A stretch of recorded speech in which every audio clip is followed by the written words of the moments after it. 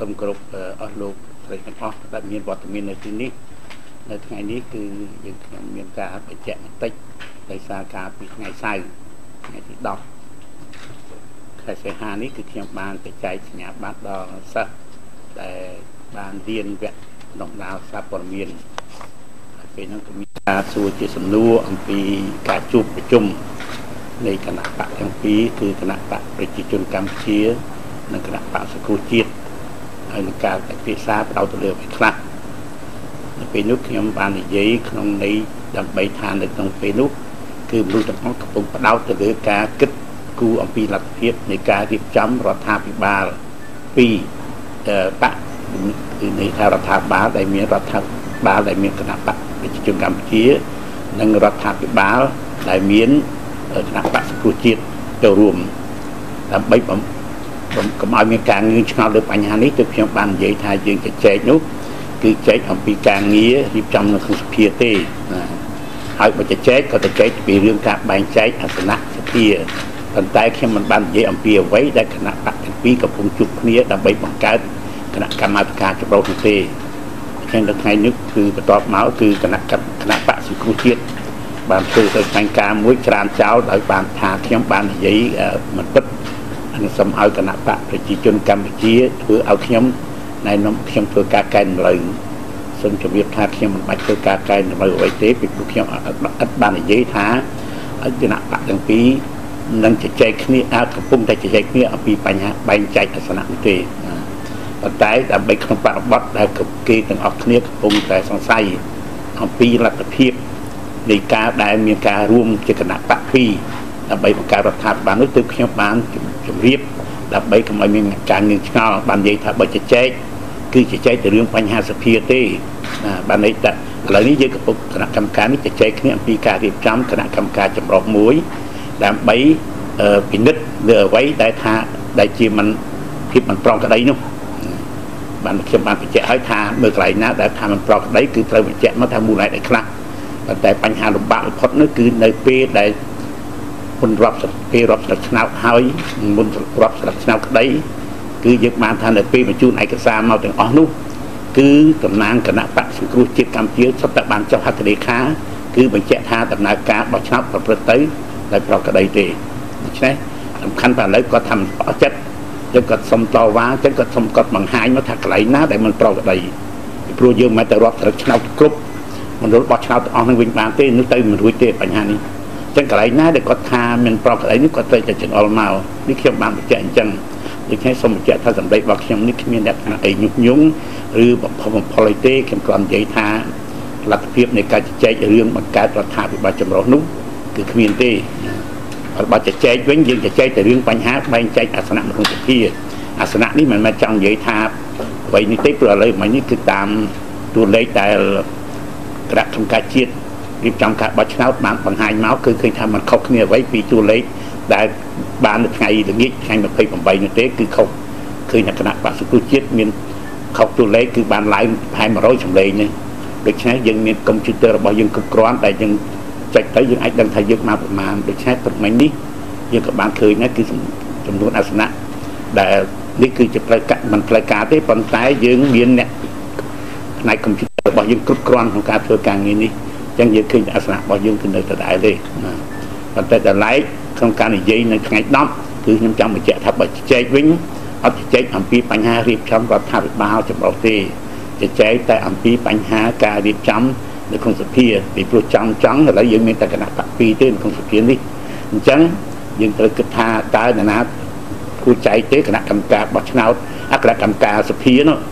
ណាទទួលគណៈបកណាគួរធ្វើប្រធានគណៈបកណាគួរប្រធាន ពីព្រោះបើក្នុងស្លឹកឆ្នោតតួលេខដែលយើងបាននេះគឺគណៈបកពីជើងខ្លួនឯងក៏អាចសម្រេចថាធ្វើប្រធានសម្រេចគណៈកម្មការទាំងអស់ក៏បានដែរហើយក្នុងន័យនៃតាមការណែនាំអំពីងាររបស់ព្រះមហាក្សត្រជាទីគោរពរបស់យើងជាទីសក្ការៈរបស់យើងនេះគណៈបកប្រជាជនយើងគិតថាចាំមើលយើងពិចារណាមើលតើយើងអាចបែងចែកកន្លែងណាខ្លះគាត់ធ្វើអនុប្រធានឬធ្វើអីនេះយើងគិតពីបញ្ហានេះទៅមិនទេដូច្នេះគឺសូមជម្រាបថាអ្វីដែលខ្ញុំនិយាយនៅថ្ងៃ10 សីហានេះគឺអត់មានលក្ខណៈបុផុសផលញុះញង់អ្វីទាំងអស់មិនមានតែប៉ុណ្្នឹងគឺមានការវិទ្យាទេអដើមខ្ញុំមកពីខាងទូទូ CNC ដោយសារតែយុគមិញយើងឃើញហើយនៅក្នុងវិសុអាស៊ីសេរីគឺមានមនុស្សសុខទូចហើយមានអ្នកសម្របសម្រួលកម្មវិធីក៏បានលើកឡើងនៅភាសារបស់អាដាមថ្ងៃទី10សីហានេះដែរដូច្នេះអាដាមនៅក្នុងឱកាសនេះយើងឃើញហើយថាវិសុអាស៊ីសេរីហាក់បីដូចជាមានការលើកឡើងនៅចំណុចវិជ្ជមានជាច្រើនចំពោះរដ្ឋាភិបាលក្នុងបណ្ដាញផ្សព្វផ្សាយអញ្ចឹងអាដាម តែក្នុងនាមអាដាមជាអាដាមរដ្ឋមន្ត្រីថាមានវិធីសាស្ត្រមួយក្នុងការជួយប្រាប់ទៅខាងវិសុតែគាត់មានបណ្ដាញផ្សព្វផ្សាយដែរលើកឡើងអំពីតែតែលើកឡើងអំពីបញ្ហាចំណុចវិជ្ជមានរបស់គាត់ខាងរដ្ឋាភិបាលយើងទុកតែឲ្យប្រជាជនគាត់អ្នកកំណត់វិនិច្ឆ័យចុះបាទប៉ុន្តែពាក្យដែលគាត់ថាអឺសមភាពនេះធ្វើបីតែនៅអាមេរិកក៏ដោយក៏វាមិនដែលបានស្មើគ្នាដែរយើងដឹងថាសូម្បីខ្ញុំតែងបានថ្ងៃពីថ្ងៃសៅរ៍ខ្ញុំបានប្រាប់ទៅសខាកម្មដែលរៀនកសែតដែរថា វាមិនដែលឃើញទូទួហ្វុកកសើគណៈបកប្រជាធិបតេយ្យទេព្រោះហ្វុកជាបោះទូទួរបស់ប្រជាធិបតេយ្យវាធម្មតាទេមានការលំអៀងតិចបន្តួចប៉ុន្តែដោយឡែកគឺទូទួរបស់រដ្ឋមួយគឺវិជុរបស់រដ្ឋមួយគឺយើងមិនដែលកុហកនេះជាសំខាន់កន្លែងហ្នឹងបាទខ្ញុំតើខ្ញុំមានមោទនភាពមន្ត្រីរបស់ខ្ញុំគឺមន្ត្រីរបស់ខ្ញុំទាំងអស់គឺពាណិជ្ជការយកបានប្រើពាក្យកុហកយកបានប្រើពាក្យកុហកឬបំផ្លិចសភាពការវិញនេះជាការដែលខ្ញុំមោទនភាព យើងនិយាយតែការពិតគ្រាន់តែការពិតខ្លះយើងមិននិយាយមែនប៉ុន្តែគ្រាន់បើជាងការបំពងសម្លេងកុហកឬបំពងរឿងដែលតូចសោះយើងបំពងជាធំហើយខ្ញុំយល់ឃើញថាការដែលគណៈកម្មការជាតិរៀបចំបោះឆ្នោតបានមិនឲ្យមានការផ្សាយព័ត៌មាននៅថ្ងៃបោះឆ្នោតគឺជាការល្អមែនពីព្រោះយើងឃើញថាបើគេយកមនុស្សតែ2 3នាក់ស្អីថាអត់បានបោះឆ្នោតស្ដាប់មកដូចដើមឈើ3ដើមប៉ុន្តែផ្សាយច្រើនដងទៅទៅដូចជាព្រៃមួយទាំងមូល អញ្ចឹងខ្ញុំឃើញថានេះគឺជាគោលគំនិតល្អមួយដែលយើងគួរអនុវត្តតាមពីព្រោះអឺគេថាទ្រឹស្ដីវាមានអញ្ចឹងមែនប៉ុន្តែដល់ពេលតែអនុវត្តមនុស្សវាមិនអនុវត្តយើងម្នាក់លេខ3ស្លឹកអ្នក4ស្លឹកគឺវាខុសគ្នាអញ្ចឹងយើងបញ្ហាយល់បញ្ហានេះខ្ញុំយល់ឃើញថា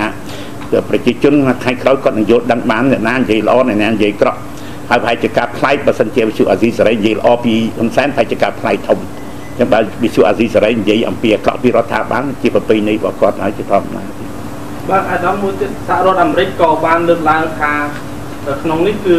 កម្ពុជាគួរតែគេហៅថាកំណែតម្រង់ប្រព័ន្ធផ្សព្វផ្សាយក្នុងនាមអាដាមជាអាដាមរដ្ឋមន្ត្រីតើលើកឡើងចំណុចនេះក៏អគ្គរដ្ឋទូតសហរដ្ឋអាមេរិកប្រចាំកម្ពុជាលើកឡើងនៅក្នុងគេហទំព័ររបស់គាត់ផ្ទាល់តើអាដាមយល់ឃើញយ៉ាងម៉េចខ្ញុំយល់ថាជាការស្ដាយដែរនៅពេលគូសាបោះឆ្នោតខ្ញុំបាននៅជារដ្ឋមន្ត្រីក្រសួងព័ត៌មានដោយសារខ្ញុំប្រគល់ការងារនេះឲ្យទៅមន្ត្រីរបស់ខ្ញុំផ្សេងទៀត ប៉ុន្តែខ្ញុំគិតថាជាមហាជំនាញយើងអាចធ្វើឲ្យប្រព័ន្ធឃោសនារបស់យើងប្រព័ន្ធផ្សព្វផ្សាយរបស់យើងខ្លាយជាប្រព័ន្ធមួយមានវិជ្ជាជីវៈវាថាឯករាជ្យហ្នឹងគឺឥឡូវខ្ញុំពិបាកប្រើណាពីព្រោះចំពោះមនុស្សជាច្រើនវាថានិយាយឯករាជ្យតតែប្រឆាំងរដ្ឋាភិបាលហ្មងអញ្ចឹងខ្ញុំពិបាកនិយាយប្រើថាកសែតឯករាជ្យឬវិទ្យុប្រព័ន្ធផ្សព្វផ្សាយឯករាជ្យពីព្រោះបើតាមនិយមន័យរបស់ប្រទេសអ្នកមួយចំនួននោះតតែឯករាជ្យគឺតតែប្រឆាំងរដ្ឋាភិបាលអញ្ចឹងខ្ញុំបាត់និយាយអញ្ចឹងទេខ្ញុំចង់បានប្រព័ន្ធ ផ្សព្វផ្សាយមួយដែលមានលក្ខណៈវិជ្ជាជីវៈឲ្យក្រសួងព័ត៌មានធ្វើឲ្យបាននៅអាណត្តិនេះអាដាមនៅព្រឹកមិញគឺគណៈបាសង្គមជាតិគាត់កំពុងតែធ្វើសន្និសីទកសែតជំហរមួយដែលច្រានចោលលទ្ធផលនៃការបោះឆ្នោតនេះដែរខ្ញុំយល់មិនដែរដល់ចំពោះគាត់តើតែគាត់ឆ្នះឆ្នោតគាត់ថានឹងត្រឹមត្រូវអានឹងវាទៅជាការខុសឆ្គងមួយហើយកន្លងមកខ្ញុំឃើញនៅពេលសន្និសីទកសែតរបស់គណៈកម្មការជាតិរៀបចំការបោះឆ្នោតមុនការបោះឆ្នោតមួយថ្ងៃ ខ្ញុំឃើញលោកម្នាក់គាត់និយាយថាគាត់ជំនាញណាស់ខាងកុំព្យូទ័រហ្នឹងគាត់ធ្វើឲ្យគណៈកម្មការឲ្យគណៈបកសង្គ្រោះជាតិខ្ញុំថាបើគាត់ជំនាញដែរគាត់មិនដាក់ប្រូក្រាមកុំព្យូទ័រទៅគាត់ចុចលេខមកក៏ឃើញប្រមាណបាទប៉ុន្តែបើនិយាយថាតើតើគាត់ឈ្នះឆ្នោតបានថាអានឹងវាឯត្រឹមត្រូវអានឹងវាមិនដឹងស្រុកណាឋានចឹងបានទេព្រោះបកគណៈប្រជាជនទាឈ្នះមួយទាឈ្នះឬទាលើអីឥឡូវទាលើស្រុកឆ្នោតទី1ទី2យើងមើលនៅក្រុមមណ្ឌលបោះឆ្នោតទាំងអស់គណៈតំណាងគណៈបកសង្គ្រោះជាតិ អត់មានកន្លែងណាមួយដែលចុះហត្ថលេខាថាមិនព្រមទទួលស្គាល់ការបោះឆ្នោតនឹងប្រព្រឹត្តទៅដោយត្រឹមត្រូវទេគឺសិតតែចុះហត្ថលេខាអស់ហើយអត់មានណាបង្ខំទៀតណាហើយឥឡូវគាត់មកជជែកតែថាគាត់តែថាគាត់ចាញ់ឆ្នោតគឺគាត់មិនទទួលស្គាល់អានេះជាគាត់ទទួលស្គាល់ទទួលស្គាល់ប៉ុន្តែការពិតវានៅតែអញ្ចឹងបាទពីព្រោះបើអញ្ចឹងទេវាត្រូវពីមើលពីសរិទ្ធឆ្នោតទៅមើលតាំងពីកន្លែងបោះឆ្នោតនោះតើមានគ្នាតំណាងរបស់គាត់ប្រមាណអ្នកដែលបានចុះថាការបោះឆ្នោតនោះមិនត្រឹមត្រូវ ទៅមើលពីនោះទៅទៅទៅបើគាត់តែនិយាយយកចម្រេងសម្លេងតាមក្រៅយកតាមអតិបៈគឺគំនិតរបស់ខ្លួនឯងថាយើងណាក៏និយាយបានដែរហ្នឹងបាទណាក៏និយាយបានយើងឃើញគណៈបច្ចាញ់ឆ្នោតបានតវ៉ាទាំងអស់តាប៉ុន្តែយើងអាចនិយាយចឹងបានទីសម្លេងឆ្នោតគឺសម្លេងដែលយើងរាប់ហើយដែលរាប់នៅមុខតំណាងគណៈបកទាំងអស់ដែលនៅទីនោះនេះគឺជាត្រឹមត្រូវជាតួលេខត្រឹមត្រូវมันអាចយកអីមកលើនឹងបានទៀតទេបើនិយាយថាមានអ្នកខ្លះមិនបានបោះឆ្នោត មិនបានចុចគេមិនឲ្យបោះឆ្នោតឥឡូវយកមើលបានប្រហែលអ្នកនិយាយនេះហើយគេឲ្យទៅចុះឈ្មោះពិនិត្យឈ្មោះបោះឆ្នោតមួយឆ្នាំមុនហើយការធ្វើចម្រើនបញ្ជីនឹងរៀងរាល់ឆ្នាំទៀតវានៅតែរឿងដដែលហើយមើលទៅមានតំណឹងពីរ3នាក់ក៏មិនស្រេចបាទអញ្ចឹងបើគាត់និយាយថាតើតើគាត់ឈ្នះឆ្នោតបានត្រឹមត្រូវអានឹងវាមិនដឹងនិយាយថាម៉េចទៀតពីព្រោះបើយើងសំខាន់គឺការសម្ដែងឆ្នោតដែលរាប់បានជាផ្លូវការហើយដែលតំណាងគណៈបកទាំងអស់ នៅក្នុងការិយាល័យបោះឆ្នោតនីមួយៗបានចុះហត្ថលេខាថាទទួលស្គាល់ថាការបោះឆ្នោតនឹងត្រឹមត្រូវហើយនោះអឺអាដាមសុំមួយទេតើអាដាមតើគណៈកម្មការចម្រុះដើម្បីដោះស្រាយភាពមិនប្រក្រតីនៃការបោះឆ្នោតតើមានដំណើរការបន្តទៀតហើយនៅបន្ទាប់ពីកិច្ចប្រជុំកាលពីថ្ងៃសុក្រនៅវិមានជាអាដាមអាហ្នឹងខ្ញុំក៏មិនទាន់ដឹងចាំមើលគេសម្រាប់ធ្វើយ៉ាងម៉េចទៀតណាបាទពីព្រោះគេនៅគេជជែកហើយបន្ទាប់មកគេយន្តការគេត្រូវធ្វើយ៉ាងណាយ៉ាងណាខ្លះដែលយើងនឹងបន្តទៀតពីព្រោះការបោះឆ្នោតហ្នឹងវា យើងអាចថាយើងសល់60ថ្ងៃមុនការប្រជុំសភាដំបូងអញ្ចឹងយើងគិតថាគ្រប់គ្រាន់ក្នុងការដោះស្រាយបានលើកលែងតែអ្នកខ្លះដែលដឹងថាបើដាក់ទៅវាមិនឈ្នះគេហើយហើយគាត់ចង់ធ្វើរាំងស្ទះតែម្ដងហ្នឹងគឺផ្សេងនឹងការរាំងស្ទះគឺអាចលើកជាលើកជាសំណើចេះលើកសំណើចុះដែលយើងអាចធ្វើបានទីហោះបើថាលើកសំណើថាទៅរាប់ទៅលើឆ្នោតអស់វិញរាប់យើងទៅរាប់មិនមានចំណាយពេលប្រហែលទៀតដើម្បីរាប់អញ្ចឹងអញ្ចឹងគាត់ឆ្អល់មកកន្លែងណាខ្លះដែលមណ្ឌលហ្នឹងវាមិនមិនមិនច្បាស់ ដែលមានលក្ខណៈមិនប្រក្រតីណាប៉ុន្តែចំគាត់អ្នកពេញឲ្យគាត់ប្រាប់ថានឹងមួយនៅឃុំមួយដែលគាត់មានតំណាងគណៈបកគាត់នឹងទៀតបើគាត់ជឿតំណាងគណៈបកគាត់គាត់ជឿណាវិញអញ្ចឹងហេតុទៅអាដាមវាតម្លៃថាការបោះឆ្នោតមានភាពប្រក្រតីជាធម្មតាប៉ុន្តែមានចំណុចអីខ្វះខាតដែរទេអាដាមវាតែមានចំណុចខ្វះខាតទេវាធម្មតាចំណុចខ្វះខាតការប្រើអំពឹងសាទីហោវាត្រូវតែគណៈកម្មការជាតិបោះឆ្នោតទេទៅកំណត់ថានេះបោះបានឬនេះបោះមិនបាន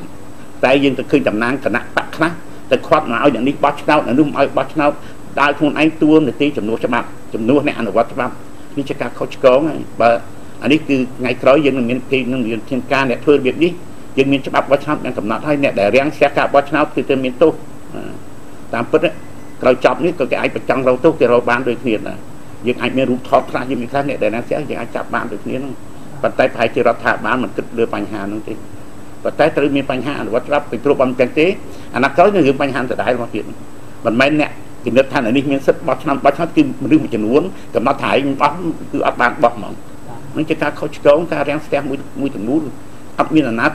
ដើរទួនអនុវត្តច្បាប់ក្រៅពីអ្នកដែលមានសិទ្ធិទទួលអនុវត្តច្បាប់ទេការងារច្បាប់ដើម្បីយើងឲ្យច្បាប់របស់យើងអនុវត្តដោយរលូនអាដាមតាមរយៈ Facebook របស់លោកសំរងស៊ីនៅ Massachusetts អាមេរិកគាត់បានបញ្ជាក់ថា ពេល4ថ្ងៃក្រោយពេលដែលគាត់មកទុកខាងវិញគាត់នឹងធ្វើមហាបាតកម្មប្រឆាំងការបោះឆ្នោតបើសិនបើគណៈកម្មការចម្រុះនោះមិនទៅមុខឲ្យដល់សារភាពមិនប្រក្រតីដែលគាត់បានលើកអាននោះទេឥឡូវគាត់បានរៀបចំហើយតែគាត់ដំណើរការអត់បាទគាត់ឥឡូវគាត់មិនតន់គាត់ថាបើមិនដោះស្រាយឲ្យគាត់ឈ្នះហ្នឹងទៅមិនរួចព្រោះកំណងគាត់គាត់និយាយថាដោះស្រាយតើគាត់ឈ្នះមកគាត់ព្រម អានឹងគឺទៅមិនរួចទេអានឹង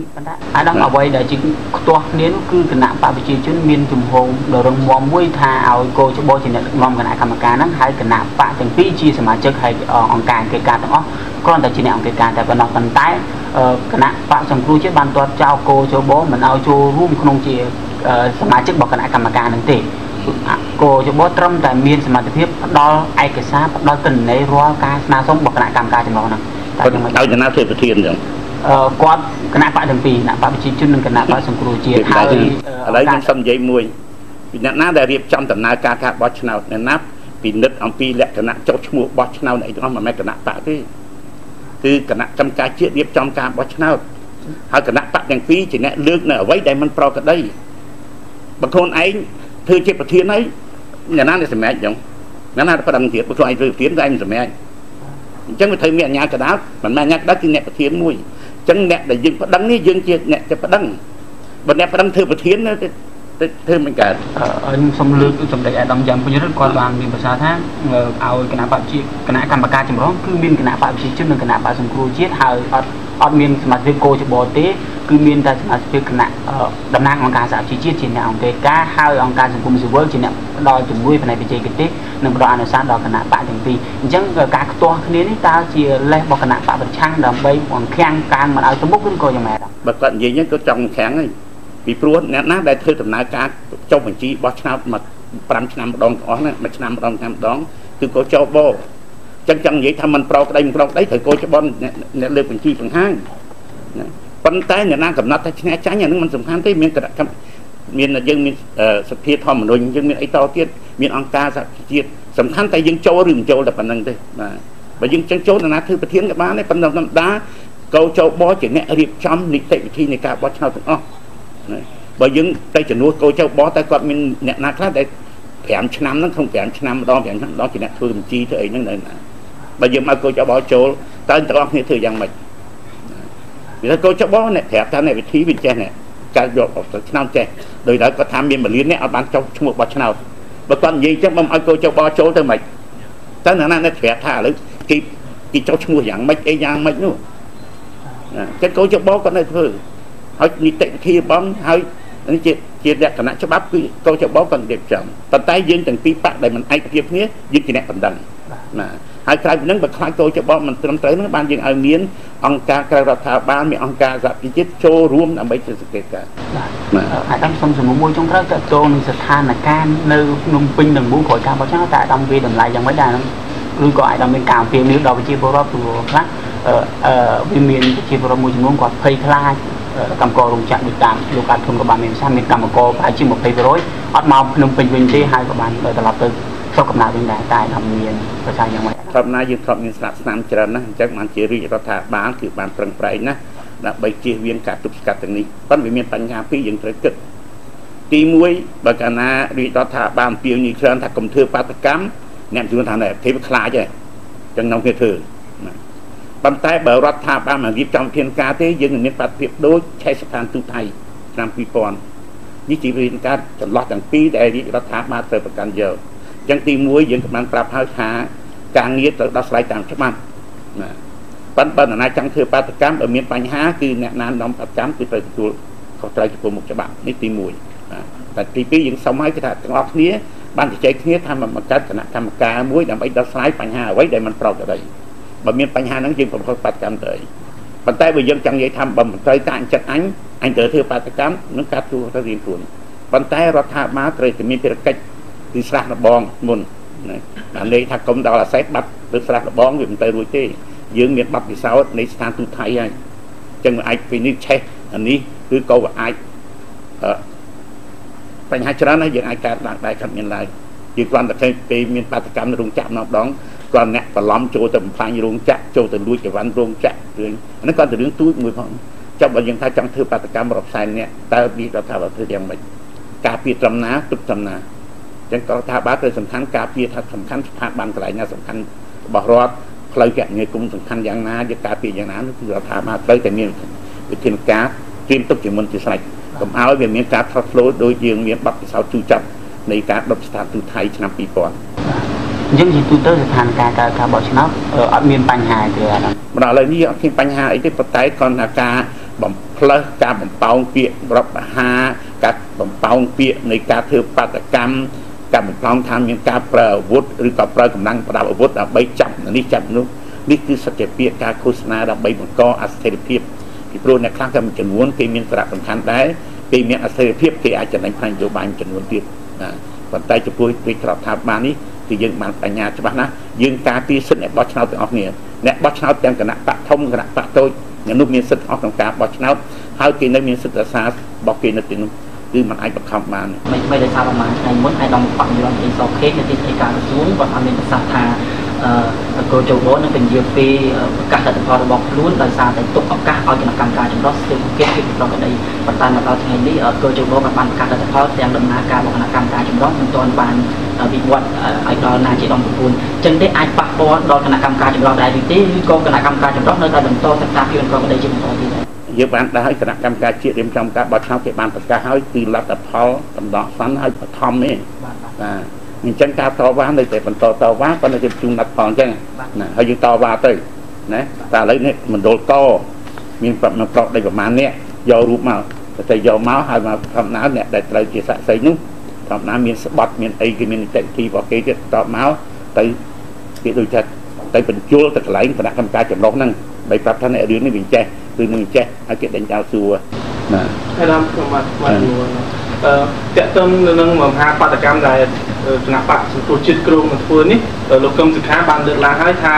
ការធ្វើមហាបាតកម្មនេះគឺធ្វើឡើងក្នុងគោលដៅឆន្ទៈប្រជាពលរដ្ឋតែក្នុងទស្សនៈសបាយអារម្មណ៍តថាយល់ឃើញថាបើសិនជាមានការកើតឡើងនៅមហាបាតកម្មនេះមិនពាក់ព័ន្ធទៅនឹងលទ្ធផលបោះឆ្នោតចំនួនភាព មិនប្រកបដោយបោះឆ្នោតតើវាគឺជាលេសនយោបាយរបស់គណៈបកប្រឆាំងឬក៏ចេញជាឆន្ទៈជាពលរដ្ឋពិតប្រាកដមែនទេយើងគិតថាចេះបានហើយ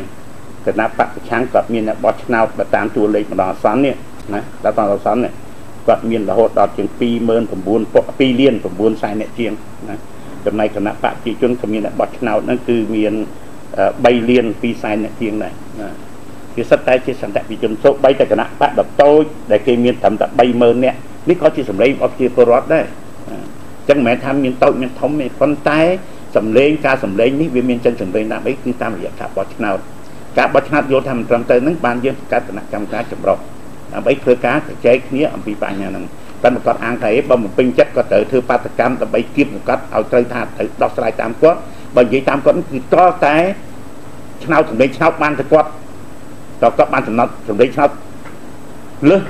ឈ្នះគេបានគាត់ថាគាត់បានត្រឹមត្រូវมันអាចនិយាយចឹងបានណាគាត់បង្ហាញមូលហេតុអីដែលអាចថាវាអាចមានការប្រែប្រួលនៃការបោះឆ្នោតនឹងពីហោនៅក្នុងការិយាល័យបោះឆ្នោតមួយមានប្រជាជន1000នាក់គាត់ថាឥឡូវមានការប្រែប្រួលបើគាត់យកពី3នាក់ក៏យើងទៅស្ដាប់ដែរប៉ុន្តែប្រែប្រួលទៅថាបើថា1000នាក់បោះលើសវាត្រូវគាត់មានប្រមាណ1000ឲ្យបោះលើសមកឬយ៉ាងម៉េចគាត់ថាមានមួយលាននាក់អត់ទាន់បានចុះឈ្មោះបោះឆ្នោតថាមិនបានចុះឈ្មោះបោះឆ្នោតមិនមែនជាកត្តាថាទាំងអស់គ្នាមួយលាននាក់នោះ គឺសិតតែបោះឆ្នោតគាត់ណា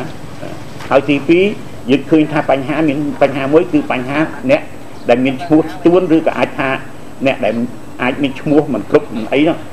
ចឹងហើយដែលធ្វើឲ្យកត្តាដែលយើងអាចឃើញថាអាចទៅគួរយើងយើងគិតវិញទេអាចថាហេតុអីបានចំនួនភាគរយដែលចូលរួមបោះឆ្នោតវាតិចពីព្រោះយើងធ្វើបញ្ជីមិនត្រឹមត្រូវអស់ពាក្យថាមិនត្រឹមត្រូវបានន័យថាយើងមិនគ្រប់បានន័យថាអ្នកនេះបោះអ្នកនេះចុះឈ្មោះអ្នកនោះមិនចុះឈ្មោះអ្នកនេះវាមានបញ្ហាចឹងច្រើនដែរ ចឹងហើយអ្នកខ្លះស្លាប់ក៏បានធ្វើបញ្ជីឡើងវិញនេះគឺយើងបានឃើញយើងបានក្រោមមកបានយើងបានធ្វើការទៅយើងធ្វើប្រជាជនបដៅបដៅប៉ុន្តែតគ្រប់ដៅដែរហើយទៅទៅមានអ្នកធ្វើចេញទៅក្រៅប្រទេសចេញអីទៀតដូច្នេះដោយថាបញ្ហានេះយើងត្រូវគិតថាទាំងអស់គ្នាត្រូវយើងមើលពិនិត្យមើលបញ្ជីថាបញ្ជាក់ថាតើកន្លែងណាខ្លះដែលវាថាមិនត្រឹមត្រូវហើយតាមត្រឹមត្រូវវាមានចំណុចអីរហូតដល់ធ្វើឲ្យអសុពលភាព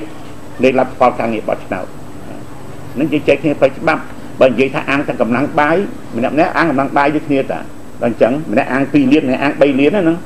ប៉ុន្តែទីផុតអនាគឺប្រជាជនត្រូវកាត់ចាក់គ្នាយើងអត់ចង់បានស្ថានភាពហ្នឹងទេអញ្ចឹងយើងចង់និយាយថាបើជជែកចង់ជែកតែឬមួយទាំងអស់នេះអាចចូលស្ដាប់អង្គុយក៏បានឬចាំផ្សាយតបតបអាហ្នឹងចែកគណៈកម្មការចម្រុះក៏សម្ដេចគ្នាទៀតអាហ្នឹងដើម្បីដឹងថាណាខុសណាត្រូវគឺអត់យើងអត់មានបិទគណៈកម្មការនេះតាមខ្ញុំយល់បើសិនគាត់ដំណើរការគួរដំណើរការគឺឲ្យណាគឺជាសាធារណៈ ចង់នេះអាចស្ដាប់បានថាតើរឿងយ៉ាងម៉េចខ្លះ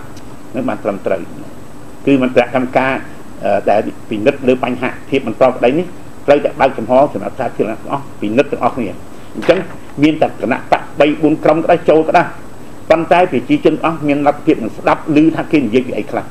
ហើយពេលនោះប្រជាជនអាចដឹងបានតើការខុសនឹងត្រូវប៉ុណ្ណាការចោទនឹងត្រូវឬបានប៉ុណ្ណាខ្លះនេះតាមខ្ញុំយល់ហ្នឹងគឺមតិតលរបស់ខ្ញុំនេះដែលនិយាយថា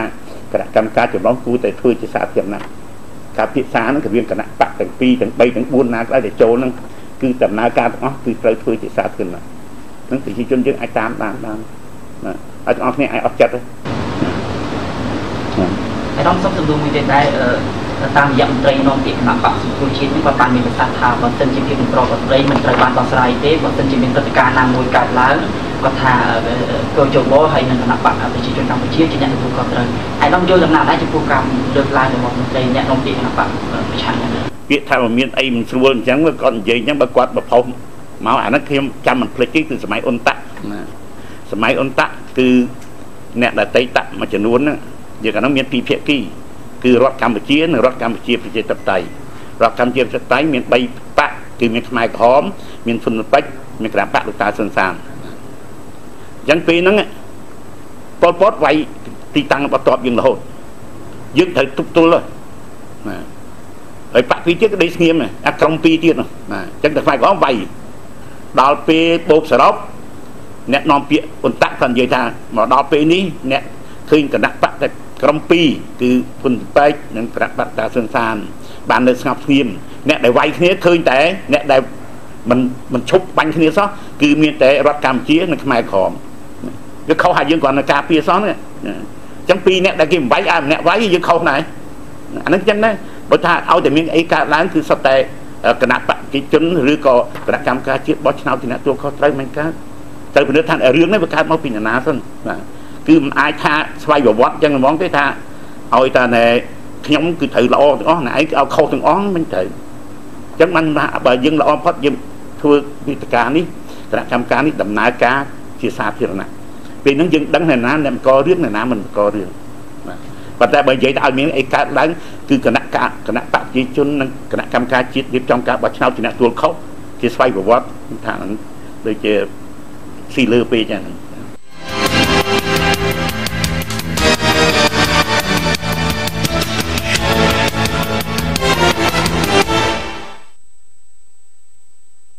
សូមលោកអ្នកថតព័ត៌មាន